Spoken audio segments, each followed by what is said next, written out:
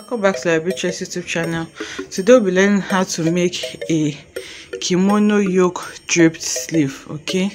So this is the kimono part of the sleeve and it is draped on the neckline area like this. It's very simple to make and it is really really lovely. If this is what you would like to learn kindly stay tuned to the end of this tutorial. Thank you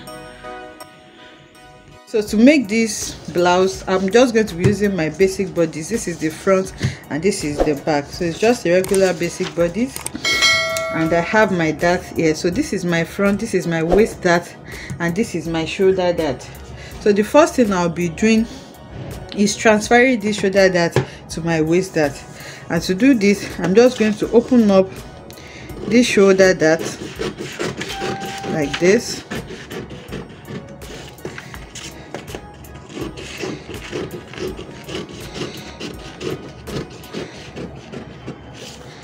and then after opening it up I'm going to open up my waist dart also.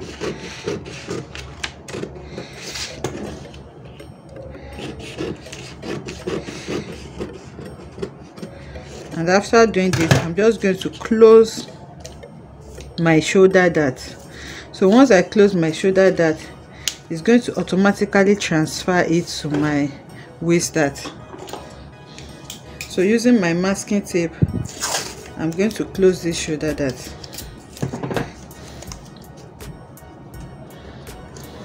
So now I'm going to redraw my shoulder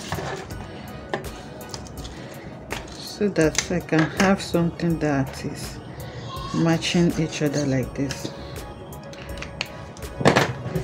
And then I can cut this out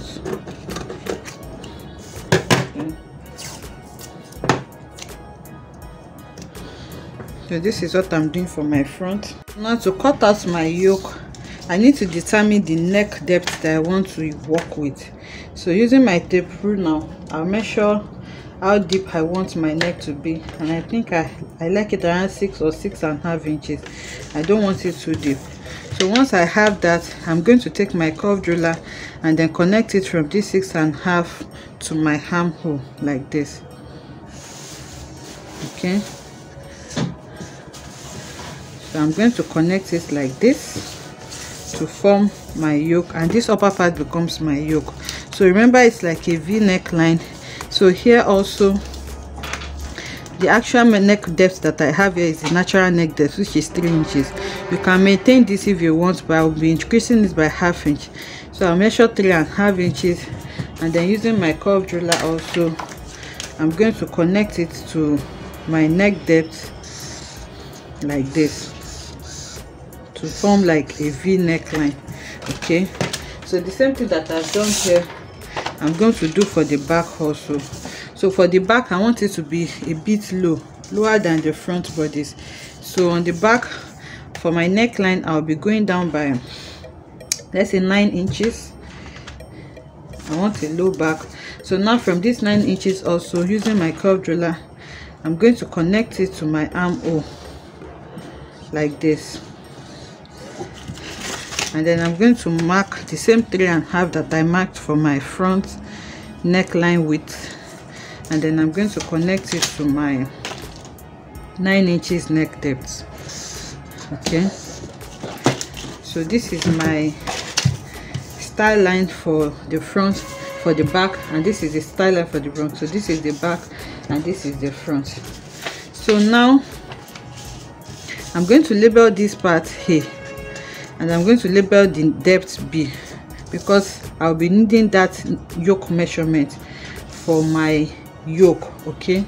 So now the next thing I'm going to do is to take my measurement from A to B for the back.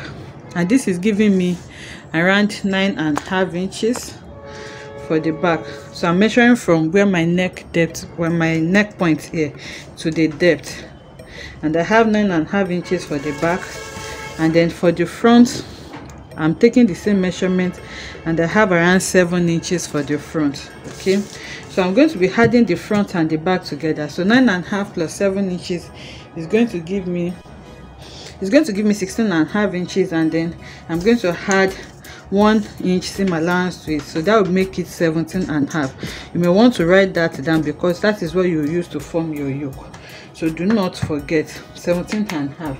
And we got the 17 and half by measuring from our neck width to our neck depth for the front and back and then adding it together.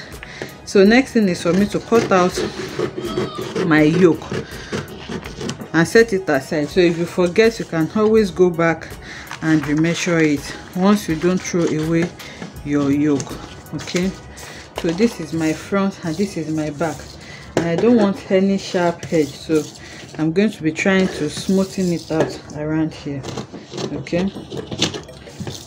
So now i'm going to cut through because i want a seam at the center point. So this is my center front and this is my side front. So this is my center back and this is my side back. So for the back also i'm going to be cutting out my that. So this pattern already has a side seam allowance but for the center back i'll be adding a zipper. So here when i'm cutting on my fabric i'll be adding my zipper allowance to this because it doesn't have a zipper allowance yet. So now i'm going to take this to the fabric and then cut it out. Okay so i'm gonna have to cut it. This is the center back and like i said i added allowance. So my pattern was not long enough it was shortage it had shortage of two inches so that was why i added two inches to the hemline of all of them when i was cutting it on my fabric so this is for the two center two center back this is for the center back and side back and this is for the center front and side front so now i'll detach it now and take it to the sewing machine so that I can join them together. Okay, so now to draft our yoke, I've gone ahead to sew this. So this is the back and this is the front. Remember that we measured our neckline for both front and back and we added it and we got 17 and a half. So I just measured from the neck width to the neck depth for the front, neck depth to neck depth for the back and I got this, okay? So now that's going to be the length of the yoke and to get the width of the yoke, I'm just going to put the, the front bodies unfold like this remember we are going to be cutting two different yokes separately so once i put it on fold i'll take my tape rule and then measure what i have on the upper part here up to the side seam. So here i have nine around nine inches. So that's going to be the width of my yoke. So now depending on how full you want it to be you can multiply your nine inches by two or three. So i'll be multiplying it by just two and that's going to give me 18 inches which means what i'll be cutting is 18 inches width and the length is going to be 17 and half for my yoke. Okay so now i have my yoke like this. So the length of the yoke is 17 and half and i approximated this to 18 inches and the width is going to be 18 inches. So i have 18 inches here but i decided because this fabric is very soft it's a doll face material so i decided to cut my 18 inches on fold okay? So that i can double it. So i just cut two 18 inches the 18 inches on fold like this. Instead of just having one single one i cut it on fold and then i sew it here and then i'm going to be turning it out. So it's a form of turning it as a lining also for me. So this is my yoke now. The next thing is for me to pleat it or gather it on my bodies. So now you need to notch your center front here by putting it together here and then notching it. And then after notching it you decide where you want your yoke to start from. It can start exactly from your central front or you just measure like one inch away from your center front which is going to be here and then you start to gather your yoke so the for the front bodies now you gather everything that you have here.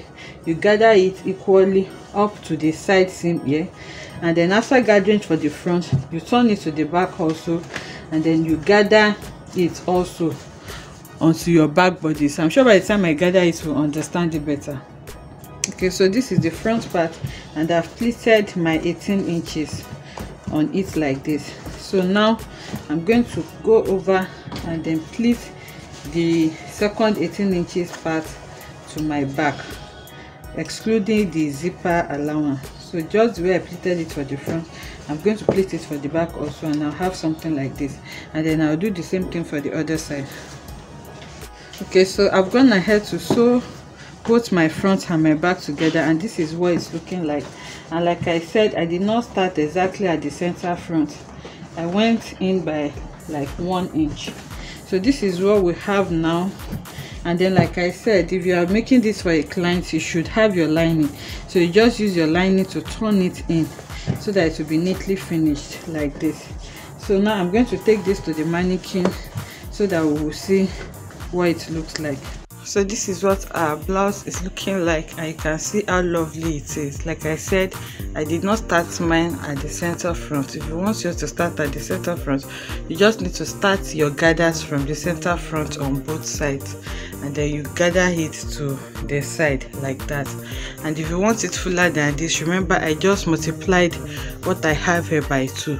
You can multiply by three for a fuller effect but this is just five for me and i love the outcome. So this is what the top is looking like and this is what it is on the back. You can see that the back part is equally beautiful. I just held the zipper allowance with a pin it's very very lovely and it is also very simple to make. So let us know in the comment section if this tutorial has been helpful. Give the tutorial a thumbs up like comment and subscribe to our channel if you haven't. And click on the notification bell so that you get notified anytime we upload new video. See you in the next one. Bye